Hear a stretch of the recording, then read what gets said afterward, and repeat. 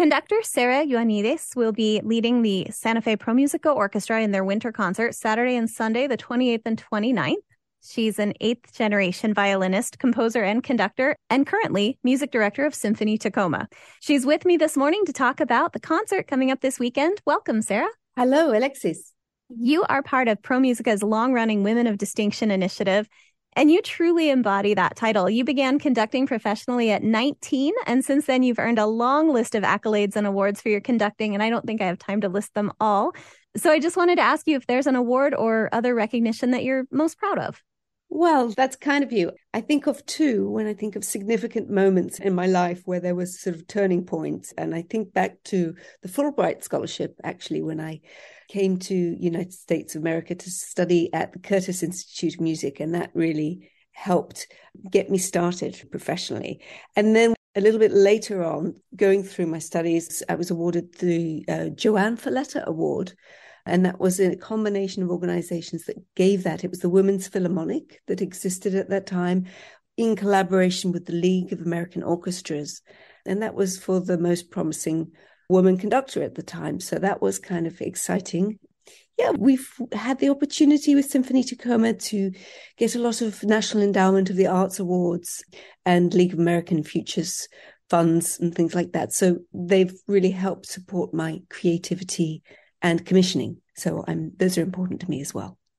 Let's talk about the repertoire for this concert coming up. There's some great variety here. There's works of a living composer, a 20th century composer, Mozart, and his contemporary Joseph Bologne. So I would love to hear you just talk about what we're going to hear this weekend and the connection between those works. Yes, absolutely. This concert, I think, is, as you mentioned, is very diverse in when the music was from. I think we start with the De Falla, Ritual Fire Dance. And that I've chosen because of its connection in a way and its contrast to the next piece, which is a commission by Santa Fe Musica to Aaron J. Kernis.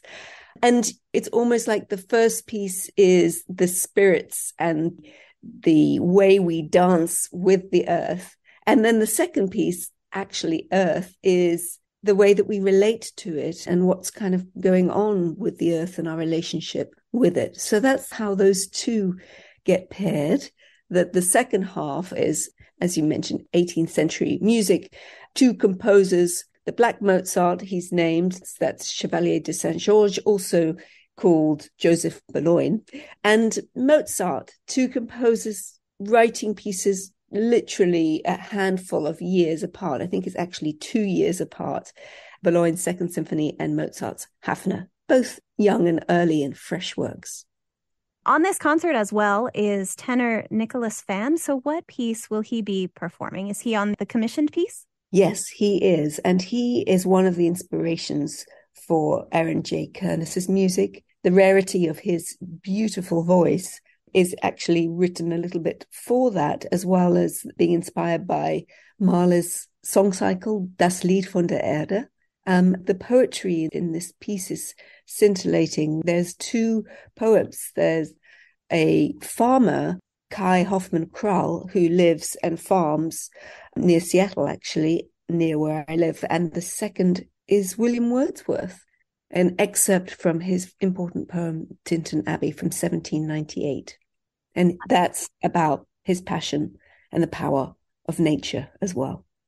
Oh, I love that once again we get that feeling of seeing something from the 18th century and then something that's very current and sort of blending those together, which everyone can hear this weekend, this brand new piece, and also music of De Falla, Mozart, and Bologne.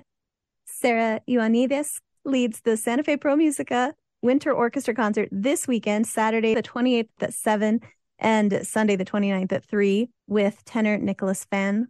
You can find all of the information at santafepromusica.org. Thanks so much for spending the time with me today. It's been a pleasure. Thank you.